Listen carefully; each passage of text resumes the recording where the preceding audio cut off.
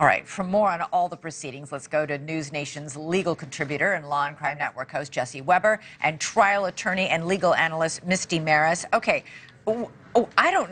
I, didn't know, uh, you know, schizophrenia could cause death. I mean, it sounds like, I don't know. What did you make of the testimony today? So my first thought was obviously important for Daniel Penny's case. The first thought was it looked a little bit like the George Floyd case when they said heart disease killed George Floyd. And Not the knee on his neck. And the argument was, you know, out of all times he dies from heart disease. Now I, I think the jury might not accept this, but it doesn't mean even if they don't accept it, doesn't mean they're going to find him guilty. They might say, you know what, he killed Jordan Neely. But then the second question is, was it justified? I think it's an important factor for the defense to pluck out, but at the end of the day, does it rebut what they heard from the medical examiner? I'm not entirely sure. This is what we call the battle of the experts, right? So we heard from the medical examiner one side of the case, and now we have an expert testifying to something totally different. And to Jesse's point, yes, it's about whether or not there were these other causal factors, but it's also about how the pressure and whether or not it was sustained for long enough and in a way that it would cause that result, cause somebody go unconscious or to kill them.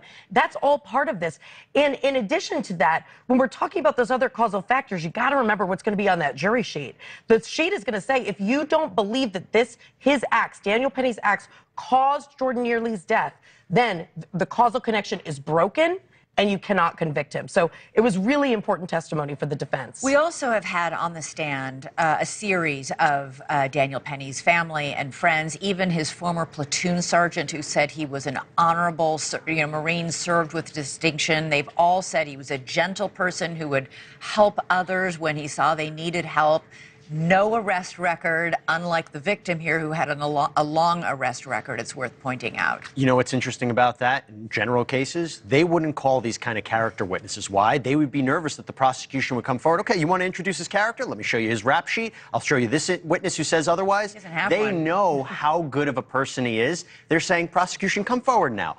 That's a big point for the defense there. It's going to be hard for this jury to ultimately convict Daniel Penny. They have to look at the facts, they have to look at the evidence, but the fact that they brought forward character witnesses who said he treated people with respect, he was a calm influence, the idea would be he wouldn't have done this unless he felt he had absolutely no choice but to protect the people on the train. All right, here's the big question Does Daniel Penny take the stand in his own defense? I think yes, and and for a couple of reasons. And It's again, so it's a huge risky. risk, of course, huge risk, and it's always a game time decision. The defense is always going to look at what's on the record. Prosecutors have to prove their case.